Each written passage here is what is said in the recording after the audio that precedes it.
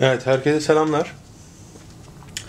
Ee, gördüğünüz cihaz Surface, Surface RT. Ee, kutuyu daha açmadım. Ee, beraber açalım istedim. Ee, bu videoda da bakalım. Hani kutuyu beraber unboxing videosu olacak bu. Benim ilk un- unboxing videom olacak. Ee, açalım bakalım ee, nasıl açılıyor, neler oluyor. Ee, sanırım şurada bir şu şekilde bir çıkış hareketi var. Evet. Şöyle çıkartıyoruz. Şunu ileriye atalım. İki parça alttan klavye çıktı. Hemen o klavyeyi de çıkartmaya çalışıyorum. Şöyle Evet. Şöyleymiş zaten. Klavyemiz bu. Touch klavye. Siyah versiyonunu e, çıktı içinden. Siyah versiyonu çıktı. Bu build'de hediye edilen e, Surface RT. E, burada touch klavyeyi tabi bastığımızda bir şey hissetme şansımız pek yok. E, hani kullandığımızda bakacağız nasıl oluyor, ne bitiyor. Dış yüzeyi de e, şu şekilde. Işığa doğru tutayım şöyle. Peki. Şurada mavi bir şeyler görüyorum ben. Onları da bir çıkartalım. Ve şunu yine kenara koyalım. Evet. Surface. Nasıl kullanılır gibi bir şeyler var. Atalım.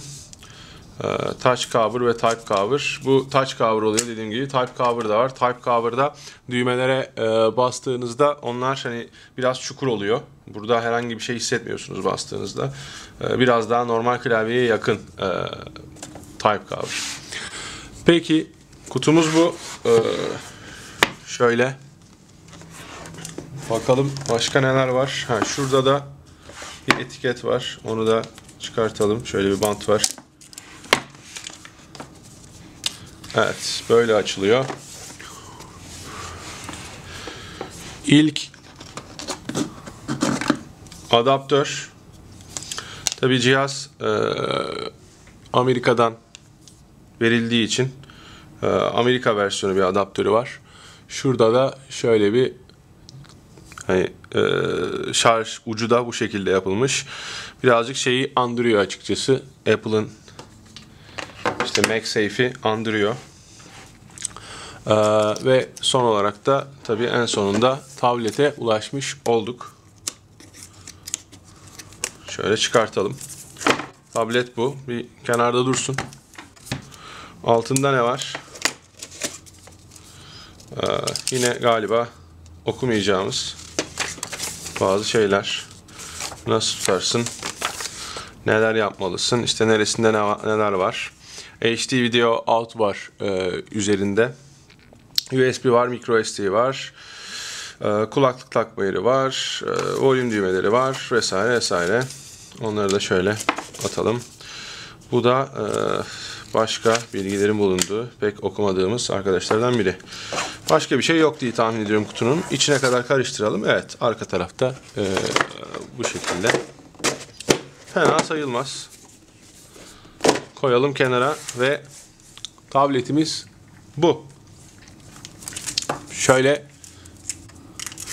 cihaz ah şöyle yapayım. Bu arada ben bu videoyu bir e, SLR'la çektiğim için ve ilk videom olduğu için e, ekranımda yok. O yüzden denk getirmem arada zor oluyor. Şöyle bir arkadaştan bahsediyoruz. Evet. Arkaya geçelim. Şurayı çıkartalım. Ve bundan da kurtulduk. Evet, cihaz güzel gözüküyor. Şurada hani bir Windows logosu var. Hafif şöyle yansıtmaya çalışayım. Ee, kamera şurada. Bu zaten şu taraftaki eğer açabilirsem bunlardan bir tanesinin ayak olması lazım. Evet şu şekilde e, ayağımız. Şuraya baktığımızda içeride e, işte 32 GB olduğu vesaire e, yazıyor. Bakacak olursak. Ve şu şekilde cihazı koyabiliyoruz. Evet. Ben şu yerini değiştirdim biraz daha rahat görün ee, diye. Şimdi cihazımız e, şurada. Klavyemiz de burada. Ee, şöyle alt tarafına tekrar bir bakalım. Şurada e, şeye giriş kısmı var zaten. Ee, klavyenin oturacağı yer. Hemen onu şöyle Evet hani sesi duydunuz zaten. Hani oturma şekli gerçekten e, başarılı. Klavyeyi e, rahatlıkla e, kaldırabiliyor. Bir sorun yok. Hatta e, şöyle yapalım. Şurayı kapatalım. Hani şu testler sürekli yapılıyor çünkü acaba e, taşıyor mu şeklinde. E, evet gerçekten de şöyle sallıyorum şu anda çok net görmediğinizi tahmin ediyorum ama en azından ne kadar sallandığını görüyorsunuzdur. E, hiçbir şekilde tabletin düşmesi gibi bir durum söz konusu değil. Şöyle birazcık hor davranalım. E, evet klavye sağlam yani bu kadar sağlam sallandığında bile o manyetik bağlantı düşmüyorsa ne kadar kuvvetli olduğunu tahmin edebiliyorsunuzdur. Epey bir zorla çekmek gerekiyor. Ee, şöyle yaklaştırdığımızda yavaş yavaş yaklaştırayım. Hani evet ciddi bir mesafede şu anda evet, çekti. Ee, ilginç olmuş. Ee, güzel de olmuş gibi duruyor. Şurayı tekrar açıp e, koyalım. Masada duruşu cihazın epey e, seksi. Ee, peki açalım artık bunu isterseniz. Ee, tabii açılış düğmesi neredeydi? Ee, kağıtları okumayınca böyle aramak zorunda kalıyoruz. Kağıtlarda yazıyordu aslında ama şu yukarıdaki düğme sanırım. Ee, basılı tutup umarım şarjı vardır diye tahmin ediyorum. Evet varmış zaten. Şu anda ilk açılışı görüyorsunuz.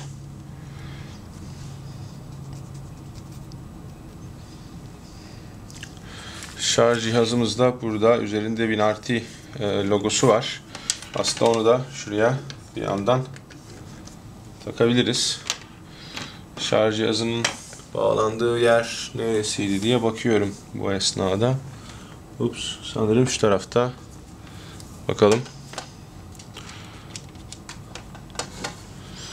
Evet bu arada display language falan geldi. Ha yok şu alttaymış. Evet şarj cihazının manyetizması çok başarılı değil itiraf edeyim. Ee, ama şey güzel olmuş. Şöyle getireyim bakın şarj cihazının e, şeyini taktığım anda ki takamadım. Evet takarsam şöyle üzerinde ufak beyaz bir ışık var. Ee, o güzel olmuş açıkçası. Net görebiliyorsunuz şarj olduğunu. Onu eklemeleri e, iyi olmuş. İngilizcemizi seçelim. Next diyoruz. E, lisans sözleşmesini e, okumad okuduğumuzu varsayıyoruz. Şöyle e, ben buna bir de tabi e, isim vereyim bilgisayara. Taron Surface diyelim. Şimdi Surface'ın bu klavyesinde yazmak çok kolay değil açıkçası. Ee, onu söylemem lazım. Çünkü tuşlar size tepki vermiyorlar ve yerlerini ve şöyle yüzeyi şey yaptığınızda da hissetmiyorsunuz aslında tuşların nerede olduğunu. O yüzden yerlerine çok iyi alışmış olmanız lazım. Ya sürekli bakarak yaz, yazıyor olmanız lazım ya da alışmanız lazım. Zaten belirli bir süre aldığı alışmanın e, her kullanan tarafından söyleniyor. E, şu anda klasik e, şeyi görüyoruz. Bir Windows 8 yüklemesi. Ben tabi klavyede ben de zorluk çekiyorum şu anda. Tabii internete bağlanmaya çalışacak. Ee, ben şu anda oteldeyim. Otelin internetini e, kullanması lazım ama otelin internetinde de şey var. Browser açması bana bir otantikasyon sorması lazım.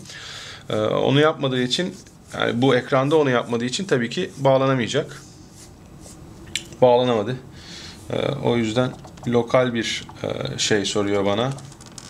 Account açtırıyor. Şey de ilginç. E, şu anda klavye e, bastıkça ses geliyor hoparlörden. Yani bu klavyeye de aslında touch e, klavye muamelesi yapıyor. Çünkü ekrandaki tuşlara bastığınızda, ekrandaki klavyeyi kullandığınızda o ses gelir. Hani telefonlarda da vardır. E, şu an bu klavyede aynı muameleyi yapıyor. Her tuşa bastığımda o sesi veriyor. Mantıklı çünkü bu da sonuç itibariyle bir touch klavye. E, yani klavye bana tepki vermediği için sesle e, başarılı olduğuma dair tepki vermeye çalışıyor bir anlamda.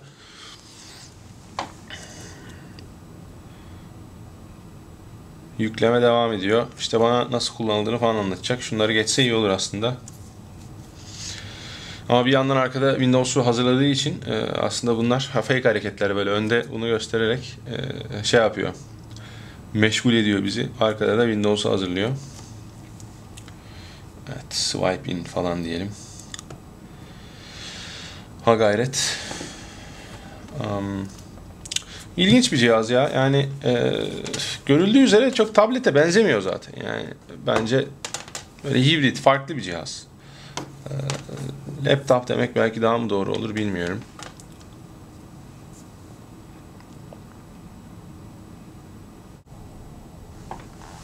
Evet her şey hazır. Cihaz bu. Ee, şu internet bağlantısı vesaire gibi sorunları da hallettim ben. Ee, şu ana ekranımız biliyorsunuz. Swipe işlemi epey iyi. Yani herhangi bir touch sensitivity sorunu yok zaten artık öyle bir şey de beklemiyoruz. Ee, zoom in, işte zoom out. Şunlar çok net bir şekilde çalışıyor. İşte sağdan swipe çok rahat. Hani hiç uğraşmama bile yani dikkat etmeme bile gerek yok. Şöyle yandan girdiğim anda ortaya çıkıyor. Ee, şöyle şeye gidelim. Hani bu uygulamaların hiçbirini daha set etmedim sonuç itibariyle ama Weather uygulamasına gidelim. Şu an internetten de indirmeye çalışıyordur büyük ihtimalle. Geldi. Lokasyonunu kullansın mı diyor. Ee, kullansın dedim. Şu anda e, Londra'nın havasını gösteriyordu. Ee, toparlayacaktır diye tahmin ediyorum. Lokasyon datası ile ilgili izni verdikten sonra.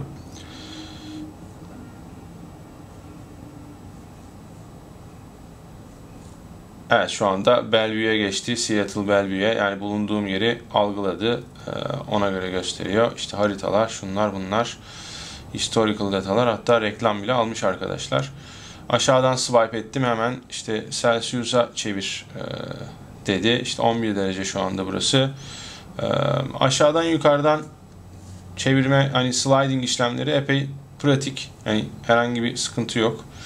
Burada sanırım zoom yüzme çalışmıyormuş zaten. Öyle bir şey yapmamışlar. World Weather diyor. Geri dönelim. Start'a bastım şurada. Start düğmesini de touch olarak yapmışlar zaten.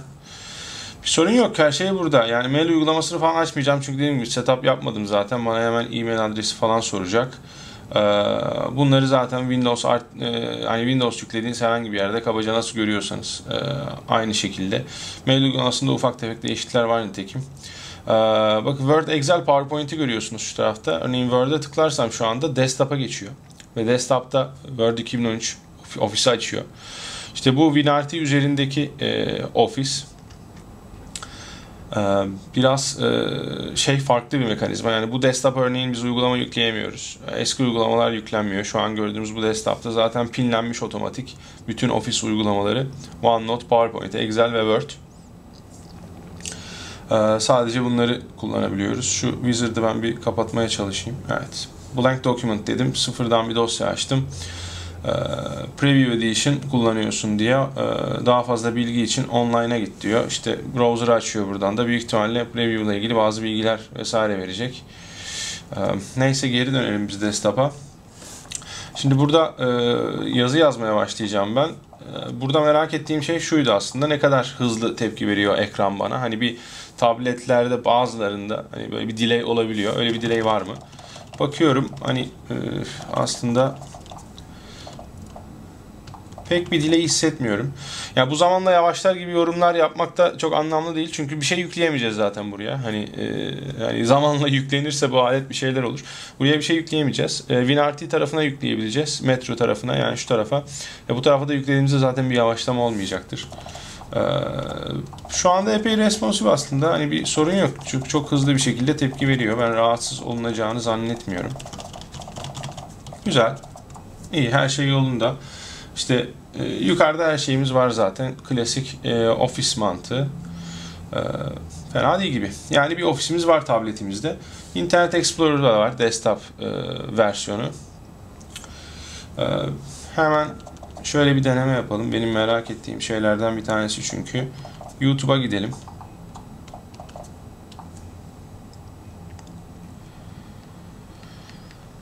Hızlı bir şekilde. Buradan e, bir video izleyelim. MIT Gangnam Style çıktı bu arada. Ee, video bildiğimiz desktop'takiymiş gibi şu anda load oldu. Ee, ben de ilk defa şu anda Surface'ın sesini duyuyorum bu arada hoparlörlerini. Ee, itiraf etmem lazım herkesin söylediği gibi rezil hoparlörler. Pek başarılı değil. Yani böyle garip bir surround efekti var sanki o şeyde, müzikte. Volüm çok yani yüksek değil, normal aslında, düşük de demeyeyim. Ee, ama garip yani çok başarılı bir hoparlör değil, onu söyleyebilirim. Şu an bakın scroll olayında hiçbir sorun yok, epey fluid zaten. Aynı şekilde zoom'da da. Zoom'da sanırım tekrar render ettiği için bir saçmalama oluyor videoda. Peki şu nedir? Onu merak ediyoruz. Sanırım HTML5 player'ı bu. Onun için mouse bağlamak lazım. Right click yapmaya çalışıyorum ama san, sanki yaptırmıyor da belki de ben yapamıyorumdur. Çok emin olamadım. Ee, şuradan hemen bir e, mouse bağlayalım. Biliyorsunuz USB-C var bu arkadaşların. E, Surface'ın. O nedenle rahatlıkla şuradan çat diye USB'den bir mouse bağladık ve çalışıyor direkt. Right click, evet ben yapamıyormuşum. Evet burada About Adobe Flash Player diyor. Yani şu anda Flash çalıştırıyor e, bu WinRT. E, bu Flash yani sallayacağım ama ben en son duyduğumda zaten e, özel bir runtime hazırlanmıştı WinRT için. Yani aslında her flash çalışmayacak ama bazı flashlar çalışacak gibi. Sanki böyle dependent bir runtime varmış gibi veya kısıtlı bir runtime üzerinde çalıştırılıyormuş gibi. Sadece video için Microsoft'un çözdüğü bir sorun oldu bu. Ee, About Flash Player dediğimizde e, ne çıkacak merak ediyorum. E, Pop-up'lara da izin verdik bu arada. Şu tarafa gidiyor. Ha, klasik Flash Player'ın e, şey sayfasına gitti. Bir sorun yok gibi. İnternetim de süper hızlı değil maalesef burada.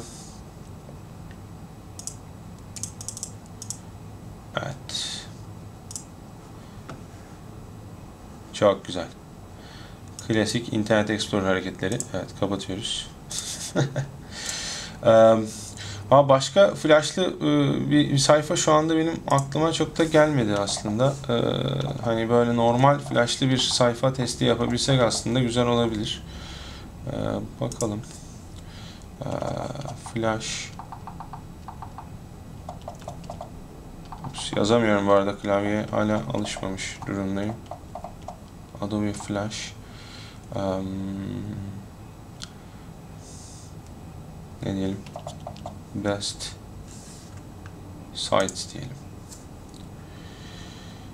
Um, Customer Showcase tamam süper. Buradan herhalde e, Flash ile yapılmış bir siteye doğru ilerleriz diye tahmin ediyorum. Adobe'in Customer Showcase sayfasından yani video değil de aslında başka flash içerikli olan yani böyle full flash siteler falan vardır ya. Hala var mı bilmiyorum ama öyle bir e, siteye gitmek istiyorum. Şu orta kısım da flash. Yani bir sorun yok gibi ya. Hani güzel çalışıyor. Yani şurası video player değil sonuç itibariyle. E, burası da çalışıyorsa çalışıyordur diye tahmin ediyorum. E, bir de tabii bunu şeyde denemek lazım. E, Metro interface'deki e, Internet Explorer'da. De orada bakalım. Bu arada yukarıda this content requires flash e, yazıyordu. Evet gitti o. Ve evet geliyor. Süper. Burada da zaten About Adobe Flash Player diye geldi. Ee, böylece bir sorun yaşanmayacak. Aynı şeyi e, Silverlight için söylemek mümkün değil. Bu arada Silverlight'la web sitesi de gelmiyor aklıma. İş uygulaması için kullanıldığı için genelde public web sitesi olarak pek kalmadı. Gerçekten de gelmedi şu anda aklıma. Şöyle yapalım. Onu da Google'da aratalım. Ah, klavye Türkçe'ye çevirmem lazım. Silverlight. Oops. Best websites diyelim. Hoppa. Bu arada cihazın e, şeylerine bakmadık. Şöyle sisteme geçeyim. 2 GB RAM'li Nvidia Tegra 3 e, Quad Core CPU var. 1.3 GHz'li. ARM based zaten. 5 touch point destekliyormuş. E, bu özelliklerini de görmüş olduk. E, şu anda Task Manager'a gidersem şöyle performansa geçeyim. E, 4 çekirdeği görebiliyoruz. Memoriyi görebiliyoruz. 1.9 GB gösteriyor. 0.7'si dolu. Ee, evet yani bir e, sorun yok. Güzel her şey takılıyor. ama buradan biz bir yere ulaşamayacağız. Ha Silverlight ile ilgili Showcase sitesine gidelim. Cases, evet Showcase sitesi bile açılmadı. Zaten yüklemen lazım falan diyor. Tıkladığımızda da yükleyebilecek mi? Hala click to install diyor ama e, şansımı deneyeyim. Silverlight Exe'yi download ediyor şu anda. Bu arada şeyi de görmüş oluruz herhalde yani böyle bir e, exe indirdiğimizde ne hale geliyor, ne yapıyor, net nasıl bir tepki veriyor diye.